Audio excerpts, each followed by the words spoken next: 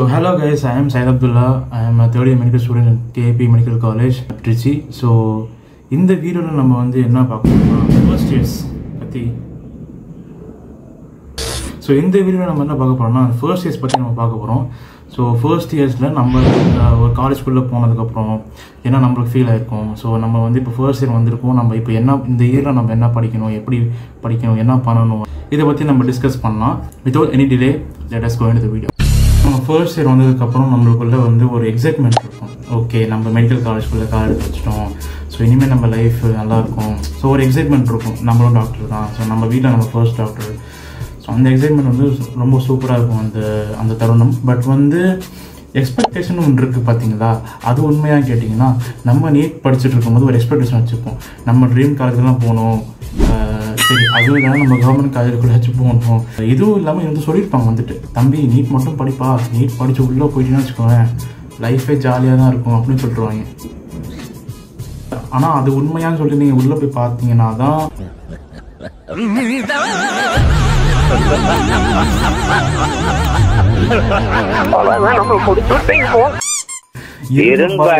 நீங்கள் வெயிட் பண்ணி ட்ரை பண்றேன் மேடம் ட்ரை பண்றேன் மேடம் ட்ரை பண்றேன் இன்னி வரைக்கும் அதுக்காக தான் நான் ட்ரை பண்ணிக்கிட்டு இருக்கேன். அந்த ஃபேஸ் வருமானே தெரியல.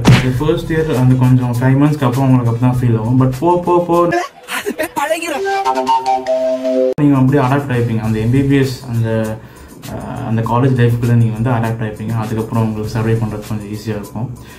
ஸோ நெக்ஸ்ட் திங் வந்து என்னன்னா ஃபர்ஸ்ட் நம்ம உள்ளே போனதுக்கப்புறம் எக்ஸைட்மெண்ட் எக்ஸ்பெக்டேஷனுக்கு அப்புறம் நம்மளுக்கு வந்து என்ன வரும்னா அந்த ஏஜ் கேப் வரும். இந்த அஞ்சு வருஷம் மூணு வருஷம் ரிப்பீட் பண்ணவங்கலாம் வந்து இந்த காலேஜ்குள்ளே போனதுக்கப்புறம் என்னடா எல்லாம் சின்ன பசங்க இருக்காங்க அந்த மாதிரி மைண்ட் செட்டில் இருப்பாங்க ஸ்டார்டிங்கில் அதே மாதிரி ஃப்ரெஷர் வந்து ஃபைவ் இயர்ஸ் இப்படி பார்த்தா யாரா அவன்? அஞ்சு வருஷம் படிச்சு வந்திருக்கான். இதுவும் சொல்ல போனால் காலேஜில் ஒருத்தன் ஒரு சில பேர்லாம் மேரேஜ் பண்ணிட்டே வந்திருப்பாங்க காலேஜில் யார் சாமி அந்த மாதிரியெல்லாம் இருக்கும். நம்மளுக்கு வந்து இப்போ என்ன பிரச்சனை ஆகும்னா இப்போ வந்து அஞ்சு வருஷம் ரிப்பீட் பண்ணவங்க தான் வந்துட்டு ஒரு டிப்ரெஷனில் இருப்பாங்க. அவங்களுக்குன்னு ஒரு டிப்ரெஷன் வரும். லைக் என்னடா நம்ம சின்ன பசங்களோட படிக்கிறோங்க நம்ம சும்மா இருந்தாலும் கூட இருக்கணும்னு சொல்லுவாங்க. என்னடா நீ சின்ன பிள்ளைங்க படிச்சுட்டு இருக்க? ஸோ அதெல்லாம் தலையில் எடுத்துக்கிட்டு அவங்க மாதிரிலாம் டிப்ரெஸ் ஆக வாய்ப்பு ஸோ நம்ம ஒரு பேட்ச் தான். நம்ம எல்லாருமே ஒரே பேட்ச் தான் நம்ம நினச்சோம்னா அந்த மைண்ட் செட் வந்து நம்மள இந்த டிப்ரெஷனில் கொண்டு போகும். அதுக்கப்புறம் அடுத்த முக்கியமான விஷயம் நமக்கு என்ன ஒரு கன்சர்னாக இருக்கும்னா ரேகிங் இந்த காலேஜ் ரேகிங் இருக்கா இல்லையா? ஸோ இதெல்லாம் நிறைய பேருக்கு ரொம்ப டவுட்ஸாக இருக்கும். சி ரொம்ப மோசமான ரேகிங்ஸ் ரேகிங்னா நார்மலான ரேகிங் வந்து ஒரு சிக்ஸ்டீன் பேட்ச் ஃபிஃப்டீன் பேட்ச் அந்த மாதிரியான பேட்ச் இருக்காங்க பார்த்தீங்கன்னா அதுக்கு முதல்ல பேட்ச்சில் உள்ளவங்க இருந்ததுன்னா இந்த மாதிரி ரேகிங்ஸ்லாம் இருக்கும். பட் இப்போது போக போக போக எல்லாமே கம்மியாயிடுச்சு. நத்திங் இஸ் தட் என்ன என்ன இருக்குன்னா இப்போ வந்து ஒரு எல்லா மெடிக்கல் காலேஜும் எல்லா ரூல்ஸும் அவங்களுக்கே தெரிஞ்சிருக்கும். லைக் சீனியராக இருந்தால் சார்னு கூப்பிடணும் மேம்னு கூப்பிடணும் ஸோ இது ஏன்னா வந்து நீ இப்போ நீங்கள் நீட் ரிப்பீட் பண்ணிவிட்டு எம்பிபிஎஸ் வந்துட்டு நாளைக்கு நீங்கள் இன்டர்ன் போகும்போது ஒரு பிஜிக்கு தான் ஒர்க் பண்ணுங்க அந்த பிஜி வந்து உங்களுடைய சின்ன பேட்சாக இருப்பார். ஸோ நீங்கள் அப்போ போயிட்டு நீங்கள் சொல்ல முடியாதுல்ல. அப்போ போயிட்டு ஒரு பேஷண்ட் வந்து நீங்கள் ஒரு சார் மேம் கூப்பிட்றாங்க. ஸோ அந்த ரெஸ்பெக்ட்காக தான். அதுக்காக தான் வந்து சார் மேம் சொல்கிறோம் என்ன சீனியர் ஜூனியர்ஸ் என்ன என்ன கம்யூனிகேஷன் இருக்கும் பார்த்தீங்கன்னா ஓகே உன் பேர் என்ன ஊர் என்ன அப்புறம் உனக்கு என்ன உனக்கு என்ன ஒரு ஆடு வருமா? பாடு வருமா? இந்த மாதிரி கேட்குறது தான் ஸோ இது பேசுகிறது வந்து ஒரு சில பேருக்கு பிடிக்காதனால அவங்க போய் கம்ப்ளைண்ட் பண்ணிடுவாங்க. ஸோ ரேகிங்லாம் இப்போ அவ்வளோ எதுவுமே இல்லை. இந்த மாதிரி தான் பேசுவாங்க. அதுக்கப்புறம் வந்து ஏன் இந்த விஷயம்லாம் ஒரு சீனியருக்கு தெரியும்னா இப்போ ஒரு காலேஜ் எடுத்துக்கிட்டிங்கன்னா மெடிக்கல் காலேஜ் எடுத்திங்கன்னா ஒரு கவுன்சில் வந்து ஃபோர்த் இயராக இருப்பாங்க.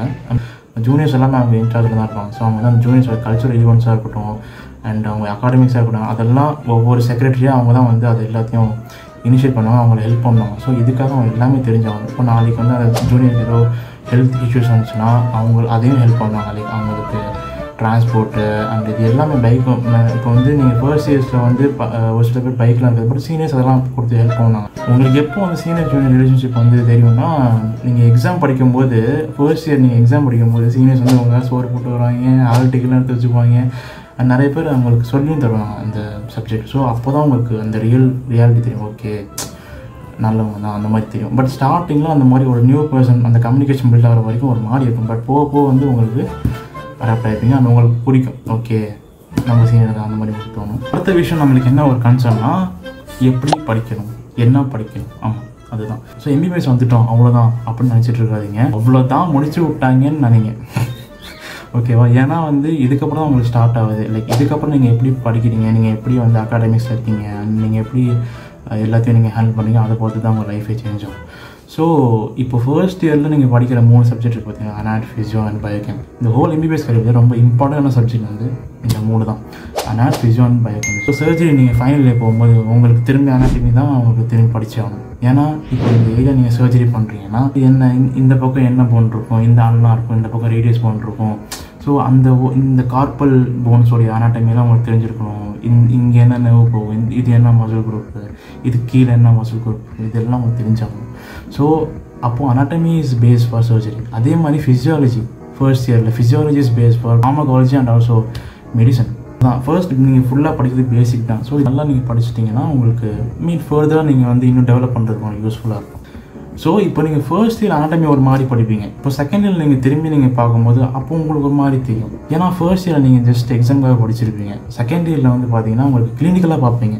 ஸோ நீங்கள் வருஷம் போக போக போக உங்கள் அப்ரோச்சிங் ஸ்டைல் மாறும். ஸோ இப்போ நான் தேர்ட் இயர் வரும்போது நான் எப்படி புரிஞ்சுக்கணும் அதை நான் உங்கள்கிட்ட சொல்கிறேன் இப்போ நீங்கள் கிளினிக்கெலாம் நீங்கள் படிச்சீங்கன்னா உங்களுக்கு நல்லது. நல்லா புரியும் வேற நல்லா உங்களுக்கு ஞாபகமும் ஒரு கிளினிக்கெல்லாம் படிச்சிக்கலாம். இப்போ ஸ்டெடிஸ்னால இப்போ நம்மளுக்கு என்ன டவுட் வரணும் ஓகே இப்போ நீங்கள் வந்து சொல்லிட்டீங்க இது பேசிக் இது இது எப்படி நம்ம படிக்கிறது அப்படின்னு நீங்கள் யோசிப்பீங்க. புரியுது. இப்போ எம்பிபிஎஸ் நீங்கள் என்ன சப்ஜெக்ட் எடுத்தீங்கன்னாலும் அன்றைக்கி படிச்சீங்கன்னா அடுத்த நாள் வெளில போயிடும் அந்த மாதிரி தான் இருக்கும். ஒவ்வொரு சப்ஜெக்ட்டு ஃபேக்ட்ஸ் இருக்கும். ஃபேக்ட்ஸ் வந்து நீங்கள் ஈஸியாக நெமோனிக்ஸ் இப்போ நிறையா நீங்கள் இன்ஸ்டாவில் வந்துருச்சு நிறையா யூடியூப்பில் நெமோனிக்ஸ் வந்துருச்சு. ஸோ இப்போ நீங்கள் அந்த ஃபேக்ட்ஸாக நெமோனிக்ஸ் வச்சு நீங்கள் ஈஸியாக நீங்கள் ரிமெம்பர் பண்ணிக்கலாம். அண்ட் நீங்கள் வந்து இப்போ ஃபர்ஸ்ட் இயர் வந்ததுல உங்களுக்கு வந்து எப்படி படிக்கணுன்ட்டு உங்களுக்கு ஓரியன்டேஷனே உங்களுக்கு வந்து எப்படி வரும்? இப்போ வரும்னா ஒரு ஃபைவ் மந்த்துக்கு அப்புறம் உங்களுக்கு ஓரியன்டேஷன் வரும். ஆட இப்போ நம்ம இது இப்படி தான் படிக்கணுமான்னு நீங்கள் இப்போ தான் யோசிப்பீங்க. ஏன்னா நீங்கள் உள்ளே நுழைஞ்சா நம்ம நம்மளாம் ஏதோ யோசிச்சிருப்போம். நம்ம டெய்லியும் படிக்கிறோம் எந்த பேக்லவும் இல்லாமல் நம்ம படித்து முடிக்கிறோம் அப்படி யோசிச்சிருப்போம். அது நடக்கவே நடக்காது. அதை நம்ம படிப்போம் படிப்போம் திடீர்னு கன்சிஸ்டன்சி போயிடும் அது நார்மல் தான். அப்படி தான் ஆகும் ஓகேவா ஸோ வந்து நீங்கள் என்ன பண்ணலாம் டெய்லி என்ன நடத்துகிறாங்களோ அது வந்து டெய்லி நீங்கள் வந்து ஒரு ஹாஸ்டல் ரூம் வந்துட்டு ஒரு ஒன் ஹவர் நீங்கள் அந்த சப்ஜெக்ட் அந்த அந்த டாபிக் மட்டும் நீங்கள் ரிவ்யூ பண்ணி பாருங்கள் நீங்கள் படிக்க சொல்ல ஃபுல்லாக நீங்கள் நீங்களே ஒரு ஓரியன்ட் ஆகிட்டீங்கன்னு வச்சுக்கோங்களேன். உங்களுக்கே கொஞ்சம் கொஞ்சமாக ஓரியன்டேஷன் சீக்கிரமாக ஆரம்பிச்சிடும் அதுக்கப்புறம் நீங்கள் படிச்சீங்கன்னா யூஸ்ஃபுல்லாக இருக்கும். ஒ- ஒரு எம்பிபிஎஸ் புக் யாராலும் ஃபுல்லாக படித்து முடிக்க முடியாது தரவா? ஸோ உங்களால் புக்கில் படிக்க முடிஞ்சால் படிங்க. அண்ட் உங்களுக்கு நீங்கள் சீக்கிரமாக கவர் பண்ணால் நிறைய யூடியூப் சேனல் வீடியோஸும் இருக்குது அனாட்டமி வேவாக்கெலாம் ஒரு ஒரு செப்பரேட் யூடியூப் சேனல் இருக்குது அந்த ஹாஸ்டலஜி பற்றிலாம் சொல்லுவாங்க. நீங்கள் கடைசியில் அந்த வீடியோஸ் பார்த்துட்டு போனீங்கனால உங்களுக்கு நல்லா சொல்கிறதுக்கு கொஞ்சம் ஈஸியாக இருக்கும். அதே மாதிரி நிறைய சேனல்ஸ் இருக்குது ஒவ்வொரு சப்ஜெக்ட்டுக்கும் ஸோ என்னென்ன யூடியூப் சேனல்ட்டு நான் கீழே டிஸ்கிரிப்ஷனில் மென்ஷன் பண்ணுறேன் இப்படி தான் நீங்கள் டெய்லி என்ன நடத்துகிறாங்களோ அதை நீங்கள் ஓரியன்ட் ஆகிட்டீங்கனாலே போதும். உங்களுக்கு ஒரு ஃபைவ் மந்த்ஸ்க்கு அப்புறம் உங்களுக்கே ஒரு ஓரியன்டேஷன் வந்துடும் அதுக்கப்புறம் நீங்கள் இதே படிக்க ஆரம்பிப்பீங்க. ஸோ இதுதான் பேசிக் சப்ஜெக்ட்ஸு இது நல்லா படிங்க. இந்த இந்த வருஷத்தில் உங்களுக்கு எவ்வளோ படிக்க முடியுதோ படிங்க. நெக்ஸ்ட் இயர் நீங்கள் திரும்பி இது வேறு மாதிரி படிப்பீங்க. பட் இது நீங்கள் ஒவ்வொரு வருஷம் நீங்கள் கொஞ்சம் கொஞ்சம் டச் பண்ணிட்டே இருந்தால் தான் உங்களுக்கு வந்து ஃபைனல் இயரில் கொஞ்சம் ஞாபகம் வரும். வந்து ஒவ்வொரு சப்ஜெக்ட் என்னென்ன புக்ஸ் நம்ம பார்த்துக்கலாம். அனாட்டமி ஃபர்ஸ்ட் சப்ஜெக்ட் அனாட்டமிக்கு வந்து பார்த்தீங்கன்னா இந்த புக் விஸ்ராம் சிங் புக் தான் வந்து நான் வந்து யூஸ் பண்ணேன். பட் நான் ஸ்டார்டிங்கில் பிடிசி யூஸ் பண்ணேன். பிடிசியில் எப்படி கொடுத்துருப்பாங்கன்னா சரி ரெண்டுத்துலேயும் ஒரே கண்டென்ட் தான். பட் பிடிசியில் என்ன கொடுத்துருப்பாங்கன்னா எல்லாம் பேராகிராஃபாக கொடுத்துருப்பாங்க. ஒவ்வொரு பாயிண்ட்டை கொடுத்துருக்க மாட்டாங்க. நம்ம அதில் நோட்ஸ் எடுத்தால் நம்மளுக்கு புரியும். ஓகேங்களா அதே விஸ்ராம் சிங்கில் வந்து ஒவ்வொன்றும் அவங்களுக்கு பாயிண்ட்டாக கொடுத்துருப்பாங்க. அண்ட் ஒவ்வொரு சப்ஹெட்டிங்காக போட்டு கொடுத்துருப்பாங்க. ப்ளஸ் இன்னொரு ப்ளஸ் பாயிண்ட் விஷயம் என்னன்னா டயக்ராம் சூப்பராக இருக்கும். நீங்கள் வந்து இந்த டயக்ராம்ஸை நீங்கள் அப்படியே நீங்கள் எக்ஸாமில் வந்து ப்ரொடியூஸ் பண்ணீங்கன்னா மார்க்ஸ் அதிகமாக இருக்கும். பட் நீங்கள் படிங்க. நீங்கள் ரெண்டுத்தையும் படித்து பாருங்கள் கம்பேர் பண்ணி பாருங்கள் எது உங்களுக்கு பெட்டராக இருக்கும் நீங்கள் அதை ஃபாலோ பண்ணுங்கள் பட் எக்ஸாமுக்கு வந்து இது நீங்கள் ஃபாலோ பண்ணிங்கன்னா ஈஸியாக ஆயிரும் உங்களுக்கு படிக்க. வந்து பயோ கெமிஸ்ட்ரிக்கு என்னென்னா வாசுதேவன். வாசுதேவன் புக்கு அண்ட் இது வந்து இது வந்து நார்மலாக எல்லாம் யூஸ் பண்ணுறது இன்னொரு புக் கூட இருக்குது பயோகெமிஸ்ட்ரிக்கு சத்யநாராயண் சொல்லிட்டு ஒரு புக் இருக்குது ஸோ ரெண்டுமே ஒரே மாதிரி தான் பட் வாசுதேவன் வந்து உங்களுக்கு அதிகமாக ஃபேக்ட்ஸ் நல்லாயிருக்கும். நிறையா உங்களுக்கு டேர்ம்ஸ் இருக்கும் அந்த நிறையா அவங்களுக்கு இன்ஃபர்மேஷன் அதிகமாக இருக்கும் பய- வாசுதேவன் கெமிஸ்ட்ரி இன்னொரு புக்கும் இருக்குது யாருன்னா லிப்பின் காட் இந்த புக்கு ஸோ இந்த புக்கு வந்து கான்செப்டுவலாக அவங்களுக்கு பில்ட் பண்ணும். ஸோ லிப்பின் கார்டில் ஒரு பேஜ் கொடுத்துருப்பான். அதில் வந்து பார்த்தீங்கன்னா எல்லா இதுவும் போட்டு போட்டிருப்பாங்க. கிளைகோலைசிஸு லிப்போலைசிஸ் எல்லாத்தையும் உங்களுக்கு மிக்ஸ் பண்ணி நம்ம பாடியில் தான் நடக்குது. இதுதான் மெட்டபாலிசம் நடக்குதுன்னு சொல்லிட்டு கான்செப்ஷனாக நம்ம லிப்பின் கார்டில் புரிஞ்சுக்கலாம். இப்போ லிப்பின் கார்டில் பார்த்தீங்கன்னா இந்த மாலிகுலர் பயோகெமிஸ்ட்ரி வந்து பார்த்தீங்கன்னா டிஎன்ஏ ஆர்என்ஏ அதெல்லாம் லிப்பின் கார்டில் சூப்பராக இருக்கும் புரிஞ்சுக்க. அண்டு நீங்கள் அதில் படித்து புரிஞ்சுக்கலாம். வாசுதேவன் வந்து உங்களுக்கு நிறைய இன்ஃபர்மேஷன்ஸ் இருக்கும். நிறைய வேல்யூஸ் இருக்கும். ஸோ அது நல்லா இருக்கும் வாசுதேவனில். அந்த கிளினிக்கல் ஃபீச்சர்ஸ் அதில் வாசுதேவன் நல்லா இருக்கும். ஃபிசியாலஜிக்கு வந்து நம்ம ஒரு ஸ்டாண்டர்ட் புக் யூஸ் பண்ணுவாங்க நார்மலாக அது வந்து கைட்டன் ஓகேங்களா? ஒரு ஸ்டாண்டர்ட் புக் யூஸ் பண்ணுவாங்க. அது வந்து கைட்டன் இந்தியன் ஆத்தரில் வந்து ரெண்டு லோக்கல் புக்ஸ் இருக்குது ஐ மீன் மூணு இருக்குது ஒன்று வந்து ஜிகே பால் இன்னொன்று வந்து ஏகே ஜெயின் இன்னொன்று வந்து செம்புலிங்கம் ஸோ ஜிகே பால் வந்து நல்லா இருக்கும் பட் நிறைய இன்ஃபர்மேஷன் இருக்கும். அதை நீங்கள் படிச்சீங்கன்னா முடிக்க முடியாது. கைட்டன் நீங்கள் எடுத்துக்கிட்டீங்கன்னா வச்சுக்கோங்களேன் அது வந்து சூப்பராக இருக்கும். நீங்கள் படிக்க கொஞ்சம் ஸ்டோரி நல்லா இருக்கும் அண்ட் உங்களுக்கு கான்செப்ட்ஸ் நல்லா உங்களுக்கு அதுவே புரிய வச்சிடும் ஸோ பட் ஆனால் நீங்கள் கடைசி நேரத்தில் படி படிக்க முடியுமா கேட்டிங்கன்னா அது கடைசி எக்ஸாம் நேரத்தில் படிக்க முடியாது. எக்ஸாம் நேரத்தில் தான் நீங்கள் புக் எடுத்து படிக்கிறீங்க. அந்த மாதிரி கேஸ் தான் நீங்கள் செம்பிளிங் ஒன்று தான் படித்தே ஆகணும். அடுத்த ஒரு டவுட்ஸ் என்னென்னா வந்து கேட்ஜெட்ஸ் நம்ம வந்து டேப் யூஸ் பண்ணலாமா இல்லையா? ஃபர்ஸ்ட் இயர்லேருந்து உங்களுக்கு டவுட்ஸ் வரும். சி டேப் வந்து ஒரு மெடிக்கல் பர்பஸ்க்கு என்ன யூஸ் பண்ணுறாங்க மெடிக்கல் காலேஜ் பர்பஸ்க்கு டேப் ஏன் யூஸ் பண்ணுறாங்கன்னா நோட்ஸ்க்காக தான். ஓகேங்களா இப்போ ஃபார் எக்ஸாம்பிள் பாருங்கள் இப்போ நான் வந்து ஒரு டேப் வச்சுருக்கேன். இது வந்து சாம்சங் எஸ் செவன் டேபு இது வந்து இந்த பென் யூஸ் பண்ணி நோட்ஸ் எழுதுவாங்க. ஓகேங்களா இதுக்கு யூஸ் பண்ணிக்கலாம். அண்ட் வந்து இது எதுக்கு யூஸ் பண்ணலாம்னா நீங்கள் வந்து இந்த இப்போ வந்து நீங்கள் ஸ்டாண்டர்ட் புக்ஸ்லாம் ரொம்ப காஸ்ட்லியாக இருக்கும் எம்பிபிஎஸ்ல ஸோ அதை வந்து புக்ஸாக வாங்க முடியாதவங்க இந்த மாதிரி நீங்கள் பிடிஎஃப் நீங்கள் படிக்கிறதுக்கு கொஞ்சம் யூஸ்ஃபுல்லாக இருக்கும். அதுக்காக தான் யூஸ் பண்ணுறது அண்ட் இன்னொரு என்ன விஷயம்னா அந்த மேரோ லெடர்லாம் போடுவாங்க. அது கூட இந்த ஃபிசிக்ஸ் வால் இருக்குல்ல அந்த இது போடுவாங்க. ஸோ இந்த மாதிரிலாம் நிறைய இருக்குது ஸோ அது அது போட்டு படிக்கிறதுக்கு தான் யூஸ் பண்ணுறது மெடிக்கல் ஓரியன்டாக நம்ம பசங்க எதுக்காக வாங்குவாங்க? நம்ம பசங்க வாங்கி முத வேலையாக நெட்ஃப்ளிக்ஸை போட்டு ஸ்ட்ரேஞ்சஸ் திங்ஸு அந்த மாதிரிலாம் சீரீஸ் பார்த்துட்ருப்போம் உட்காந்து அதுக்கு தான் இது யூஸ் பண்ணுவாங்க. ரியாலிட்டி ரியாலிட்டி அதான் ப்ரோ ஆனால் மெடிக்கல் பர்பஸ்னால் வந்து இந்த நோட்ஸ் எழுதுறதுக்கும் அப்புறமா அந்த புக்ஸ் படிக்கிறதுக்கு தான் இது உங்களுக்கு யூஸ்ஃபுல்லாக இருக்கும். பட் ஃபர்ஸ்ட் இயர் உங்களுக்கு தேவையானா உங்களுக்கு தேவைன்னா வாங்குங்க. நான் சொல்லிட்டேன் ரீசனு இந்த ரீசன் உங்களுக்கு தேவைன்னா வாங்குங்க. இந்த ரீசன் உங்களுக்கு தேவையில்லைன்னா வாங்காதீங்க. செகண்ட் இயரில் நீங்கள் வாங்கிக்கலாம். ஓகே ஸோ என்னடா அவன் படிப்பு பற்றி சொல்லிட்டு இருக்கான்? காலேஜில் ஃபன்னே இருக்கான்னு நீங்கள் நினைப்பீங்க. ஆனால் ஃபன் இப்போ ஃபர்ஸ்ட் இயரில் உங்களுக்கு என்ன ஃபன் மூமெண்ட்ஸ் இருக்குன்னு பார்த்தீங்கன்னா டிசெக்ஷன் ஹாலில் இருக்கும். அண்ட் நீங்கள் பண்ணுற ப்ராக்டிகல்ஸ் பயோகெமிக்கல் ப்ராக்டிகல்ஸ் எல்லாம் இருக்கும். அந்த ஃபிசியாலஜி ப்ராக்டிகல்ஸ் எல்லாம் உங்களுக்கு ஃபன் மூமெண்ட்ஸ் அதிகமாக இருக்கும். ஸோ எங்களுக்கு என்ன இப்படி இது டிஸ்ட்ரக்ஷன் ஹாலில் பண்ண மூமெண்ட்ஸ்னால் நாங்கள் எங்களுக்கு வந்து நாளைக்கு வந்து டிஸ்ட்ரக்ஷன் ஹால் போகிறோம்னா நாங்கள் அதுக்கு முதல் நாள் வந்து சீனியர்ஸ்ட்டை போய் சொல்லிட்டு இருந்தோம். செவன்டீன் பை சீனியர்ஸ்ட்டு இவங்க அந்த சீனியர் என்ன சொன்னார்னா நாங்கள் சொன்னோம் சார் நாளைக்கு dissection hall sir class sir எங்களுக்கு எப்படி சார் இருக்கும்? கேட்டதுக்கு அவங்க சொன்னாங்க டிஸ்ட்ரக்ஷன் ஹால் நீ படிக்க வர போகிறேன்னு கேட்டாங்க. ஆமாம் சார் அங்கெல்லாம் படிக்க மாட்டேங்க. அங்கெல்லாம் உனக்கு கப்புள்ஸே உருவாகுங்கிறாங்க டிஸ்ட்ரக்ஷன் ஹாலில் நம்மளுக்கு வந்து டேபிள் டேபிளாக நிப்பாட்டி வச்சுருப்பாங்க. டேபிள் ஒன் டூ த்ரீ எங்கள் இதில் ஆறு டேபிள் இருக்குங்க ஸோ ஒரு டேபிளுக்கு இருபத்தஞ்சு பேர் இருப்பாங்க. ஒரு டேபிளுக்கு ஒரு கேடவர் இருக்கும். ஸோ அதை வந்து ஒரு ப்ரொஃபஸர் வந்து அதை ரிசெக்ட் பண்ணி உங்களை எக்ஸ்பிளைன் பண்ணுவாங்க. நம்ம என்ன பண்ணுவோம்? நம்ம போய் இருந்து பார்த்துட்டு இருக்கோம். ஒன்றுமே புரியும் நாங்கள் நாங்கள் வந்து பின்னாடி இருப்போம். எல்லாம் வந்து முன்னாடி கவர் பண்ணாங்கன்னா ஆனால் பின்னாடி இருப்பேன். எனக்கு ஒன்றுமே தெரியாது. என்னடா பண்ணுறீங்க எட்டி எட்டி பார்த்துட்டு இருப்பேன் நான். அந்த டென்ஷன் இருக்கும்போது இங்கே இங்கே இவன் வந்துட்டு நந்தினி இங்கே டிஸ்கஷன் சொல்லிட்டாங்கம்மா. இந்த பக்கம் ஒருத்தர் வந்து விமலா மாதிரி ஃபஸ்ட் இருப்பான் அது என்ன தெரியலங்க. லவ்லாம் வந்து ஃபர்ஸ்ட் இயரில் ஒரு சில பேருக்கு அமையும். ஒரு சில பேர் செகண்ட் இயரில் அமையும். ஒரு சில பேர் ஃபோர்த் இல்லாமல் ஒரு சில பேருக்கு உங்களுக்கே புரிஞ்சிருக்கும். ஃபர்ஸ்ட் இயரில் வந்து உங்களுக்கு வந்து தேவைதான்னு தோணும். பட் ஆனால் செகண்ட் இயரில் தேவையான்னு தோணும். அதே தேர்ட் இயரில் இது தேவைதானான்னு தோணும்.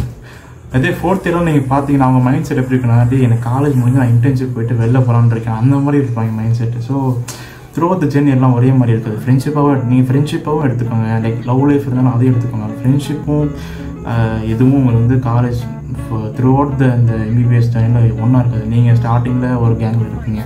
அப்படியே பிரிஞ்சு நீங்கள் ரெண்டு பேர் இருப்பீங்க. ஸோ அந்த மாதிரி எல்லாம் உங்களுக்கு மாறிடும் அந்த ஃபைனல் வரைக்கும்.